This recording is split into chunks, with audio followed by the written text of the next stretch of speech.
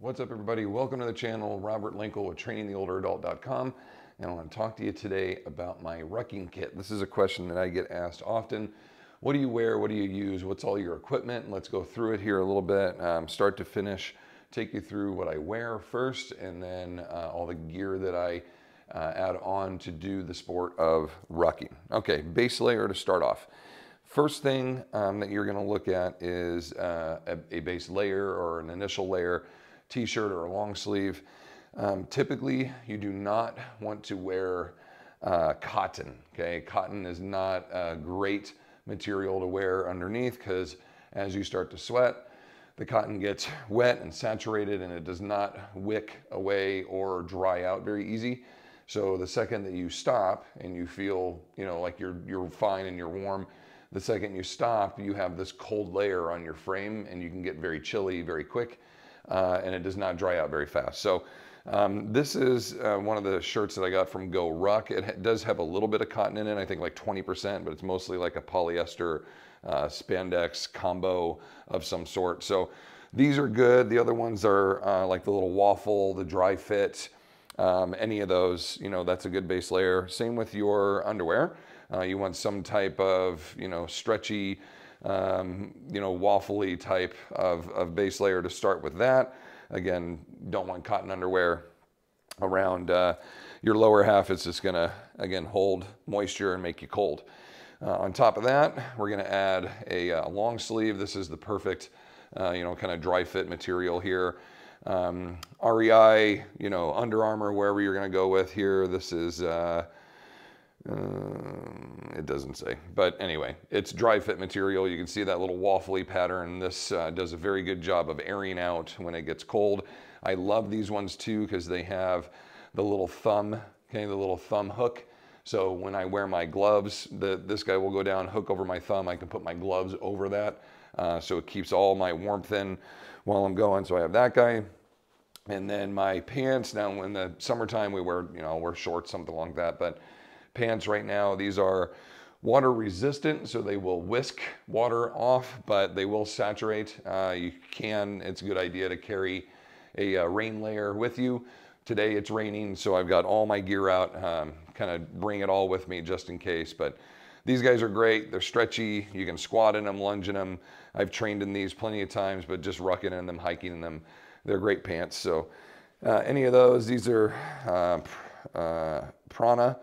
Um, any of the North Face stuff, Columbia, uh, let's see, what are some of the other ones? Um, cool.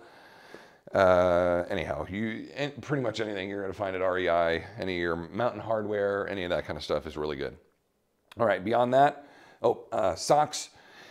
Um, really good mountaineering, hiking socks that are going to be thicker. I think this is a wool spandex combo for this one. Again, not cotton um, something that's a little thick. It's gonna give you a good layer to wear in your boots. Um, socks need to be broken in just like a, uh, a good pair of boots will be. They will give you blisters in the beginning or they'll swish and slide on you a little bit. Um, I wash mine a couple of times before I wear them. My wife loves to wear fresh socks, like freshly purchased. I can't stand that feeling of uh, the brand new material, like swishy and sliding on my feet. I'll wash them three, four, five times uh, to get some wear into them first. A lot of times I'll just put them on wear them around the house, beat them up a little bit, uh, and then I'll, I'll wear them from there. Uh, next layer, after my long sleeve, uh, I love the vest. This is a great uh, li liner here to keep extra warmth in on the torso, but if it's, you know, 45 to 60 degrees, you're like, I wanna stay kind of warm, but I also don't need my jacket on. The vest is perfect for that. Uh, sometimes too, I'll do my base layer t-shirt with the vest and just have like a little extra warmth around my torso, but my arms, extremities, and all that are doing okay, 60, 65 degrees. Basically have a little chart that kind of shows me like what my temperatures are outside and how much gear I need to wear. And that's just kind of a personal preference. Um, beyond that, this is kind of a regular, this company is called uh, Crag Hoppers, uh, C-R-A-G Hoppers, Crag Hoppers. I love these guys. They're European, so the sizes are uh, a little small. Um, my jacket is a 2X, and I think initially I got an XL and I had to ship it back, get another one, and I've had my very first Craghopper jacket I had for like 10 years. I gave it to my dad. He wore it for probably four or five years. Just recently gave it back to me because he went from you know being 300 pounds to 180 pounds, and uh, it's not even close to fitting him anymore. So he gave it back to me. So I have a backup, and it's still in great shape. I mean, I wore the shit out of that thing. He wore the shit out of it. Uh, this is my new one. It's a little bit more of an athletic performance version. It's got multiple different pockets. Uh, it is water resistant. It's not waterproof by any means, but it is water resistant, which means it'll bead water and whisk, but it will saturate if you're in heavy rain. The little hoods that come up, they've got the little prop over the eyes. Um, really good if you're wearing a headlamp, okay, something like that. Inside pockets, um, they've got some vents on them as well.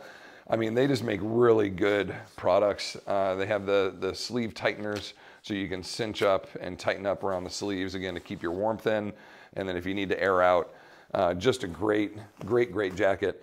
And then, uh, so that's a really good soft shell as they call it. And my hard shell, uh, this is a uh, REI special, I do believe, yeah, REI.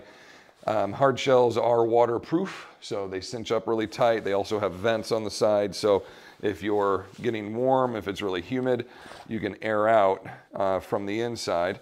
Open these guys up, it can vent, but it's still, your arms are down so the water won't necessarily seep in and get your clothes underneath. Um, these are called welds, and basically that just means how the pockets seal. Uh, the weld is on the outside, and as you zip it up, the welds hold together and keep the water because the pockets are usually the spots, if you're in a downpour, these are the spots that are most susceptible to the water getting in. If it was just a closed material the whole time, it would be fine. So these guys are the ones where the water will seep in through your pocket and get your cell phone or whatever else you're holding underneath it. So these have welds all the way through them to kind of cinch it up, hold it really tight. This is a fantastic jacket. I took this up Rainier, that was in 2008. I took this up Shasta with me uh, last year. So this is a um, heavily used uh, almost two decade old jacket and look how good a shape it's in. I wear it every single season when I'm in uh, in the rain, where, wherever I'm at. It's a great jacket. It folds up really quick and easy and just goes in the backpack. Fantastic. Um, your wool uh, stocking or your your beanie, uh, whatever you want to call it. Again, Craghoppers, love these guys. Um, I mean, just one of those brands of clothing that feel good on the body. When you put them on, you're good to go. Um, very durable. Again, I've had this beanie, I think, eight or 10 years. I mean, I love this thing. I had one for 10 years prior to that and uh, wore it out.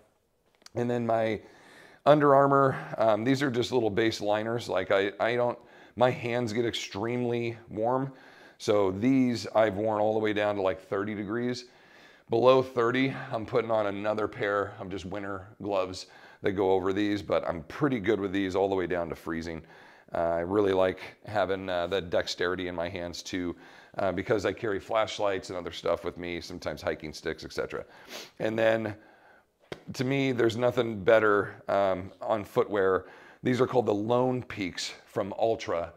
I love these boots. I, I get a new pair every year. I have a client, uh, husband and wife, client Jerry and Susan, who every year they send me um, money for Christmas to buy a new pair of boots. I mentioned maybe two years ago that uh, I wanted uh, to purchase these new boots for this, this um, activity of rucking that I do. And they said, oh, how much are those boots? And I told them, and next thing I know, I got a, a gift card to purchase these. So I got my first pair, uh, 2020, 2021. I got another, they hooked me up with that. And then this year, these boots have been doing great for me. They uh, got me a new pair of indoor trainers from GoRuck, which are my lifting boots which I will do in another video of lifting gear. So that's pretty much the kit. I'm gonna get dressed. I'm in my jammies now. Uh, gonna get layered up and get all this on and get ready to go rock and roll. And then I will take you through the gear that you wear on top.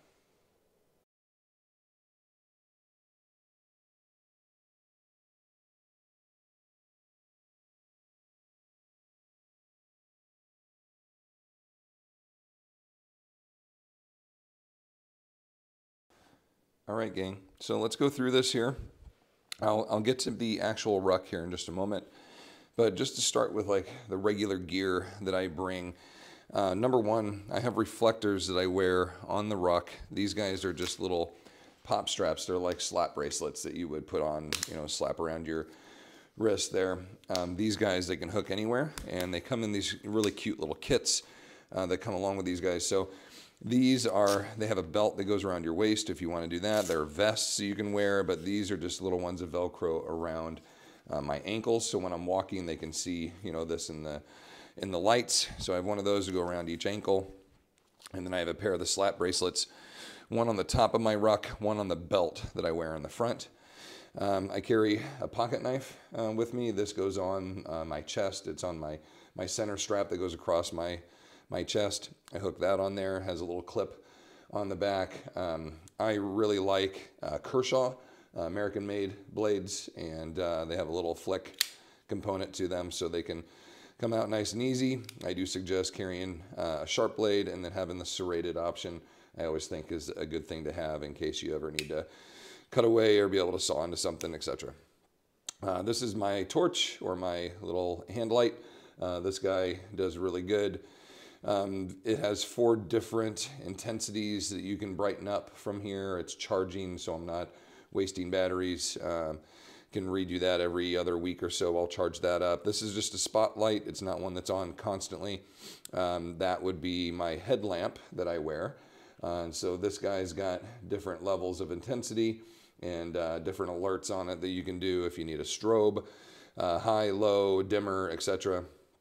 Uh, this is a uh, black diamond. I do think theirs are very good and worth the uh, the money.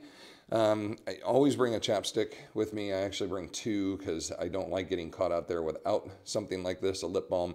Um, this is the Duke Cannon uh, men's lip balm. I think this is the probably the best one that I've used. Uh, there's other ones like Viking um, Burt's Bees, etc. Some others that are good. You need your house keys, car keys, whatever you have there. A couple little snacks or bars you're going to bring with you. I have little candies that I bring as well. Uh, wallet, my ID, uh, some extra cash, always good to have. I also have a $20 bill stashed away in my ruck itself in case you ever need uh, an Uber back or, Uber, a, uh, uh, a ride back, or if you need to stop and buy something. Um, little first aid kit, these little guys, I mean, they're super, super basic, but just some additional band-aids, a little neosporin, you know, something like that in case you get a little roughed up. And then we've got some um, more efficient uh, medical stuff in here to use in just a second. But that's kind of the basic setup of the gear that I wear on me. And the ruck itself, this is a Go Ruck uh, rucking backpack. I love their gear. They've got amazing products. I've had this one for two plus years. I wear it three or more times a week in rain and you know whatever conditions and it still looks brand new. This thing is fantastic. Has a little patch hook up here. Um, i go with a company uh, that's called rucking challenges and every month they send you a new patch to earn. So my little strategy for this is whatever month okay is coming up here the one that i'm about to earn goes on the inside. Uh, this is just my my texas one that i like to put here. Uh, i got when i was there uh, on a trip so this is kind of my placeholder for whenever I get my new one. And when I get that new one, right when I take it out of the envelope, I put it here. And so it goes on the inside and I kind of prep and prepare myself for whatever that ruck is going to be for the month. And then when I go and do it, once I've successfully achieved it, it gets I finish the ruck, I tear it off of here, and then I will remove the previous months and then I'll put the new one on earned, and then I'll leave that one for the month until I get the new one and I continue to do that every month. They give you a new challenge, a new ruck, a new workout, etc. Uh, on the outside, I have a little extra light on here. There's a high, a low, and then a strobe. Uh, I will put it on low, and I actually point it back at the ruck. So when I'm moving, okay, this kind of goes back and forth, and it's just one more light. Remember, the whole thing is like I want to be seen. Uh, I don't want people to uh, have me, you know, I, I don't want to blend in with my environment around me. I want to be seen. So the more lights, the merrier. Um, this is my, uh, my little bladder, my water container. So having one of those, uh, don't know exactly what the full liters are in this. Let's see, this is a 3,000 um, liter, three liter, excuse me, three liter, 3,000 ounces, I think, something like that. And uh, this is from 511. They make great gear, really, really great gear. Uh, I love I love their stuff. Very durable. Okay, it hangs in here, good support.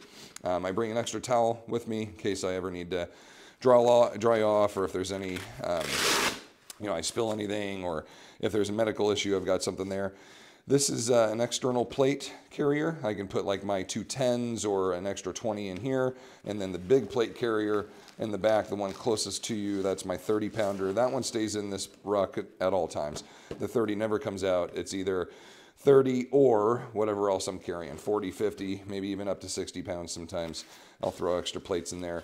That guy gets latched down and hooked in there really well. And then uh, additional um, attachments here. Again, I have my little slap bracelet there. There's another one that goes on my hip harness. I am such a fan of the hip harnesses. I think you really need these to make sure you're getting that back support because the, the hip harnesses take weight off of your back and apply it to your hips so the hip can take the load. And through the rucks, you can kind of switch back and forth. You could cinch up the hip and loosen up your shoulders and let your hips take more, and then vice versa. And we kind of switch, switch every hour so that kind of thing, so we're not abusing one. Now I have an extra uh, heavy duty carabiner. My uh, mouthpiece here for um, my bladder comes up over the top and I loop that through this guy and it just kind of holds it to my shoulder strap. So this isn't flopping around. There are many different ways to do it. I've seen people loop it through some of those, but I, I like this. It just kind of holds in place. Um, as the morning kind of goes on and things start brightening up, I'll hook my um, my headlamp here. Uh, I'll do my keys off of this, just whatever, whatever needs to stay like semi-handy. Okay, I've got my little uh, chest harness strap that connects there. This is where I hang my, uh, my knife, my um, flashlight, my extra little torch there that I put on. So that's a good addition.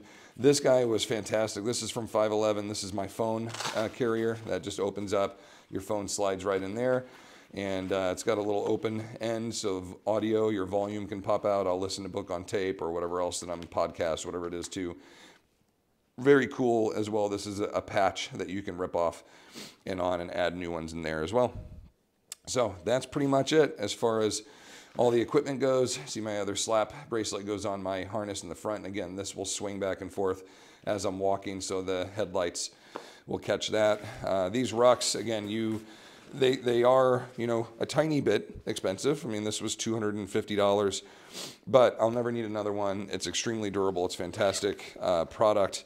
I love them. I think they're the best. Uh, on the inside, I carry a tourniquet just in case. Uh, I have seen car accidents, and um, one of the things that I'm most concerned about is not being able to treat someone that I run into. So I have a tourniquet just in case I see something catastrophic. I, at least I could try to slow some bleeding and save somebody. I bring some extra batteries with me for my, uh, my headlamp and my torch. Again, I have my $20 stored down below. And then, you know, any other snacks, foods, whatever else uh, you need to bring with you, depending on how long you're going to be out there. Um, some people will bring an extra t-shirt. They'll bring uh, a full medical kit. Um, I am a big fan of being prepared for anything and everything that might come my way. So I tend to carry a little bit more stuff than I guess the average person does. But uh, that, all in all, is pretty much my entire kit from start to finish. Um, go ruck. You won't be disappointed with these. Rucking challenges, they are awesome. 511, they make great stuff. REI, Crag Hoppers, um, Altra on the boots. Again, I don't have any financial connections to any of these products. They are just the ones that I use and they're proven and I love them. So I figured I would pass that info on to all of you. Have a great day, everybody. We love and appreciate you, and we will see you next time. Go Ruck.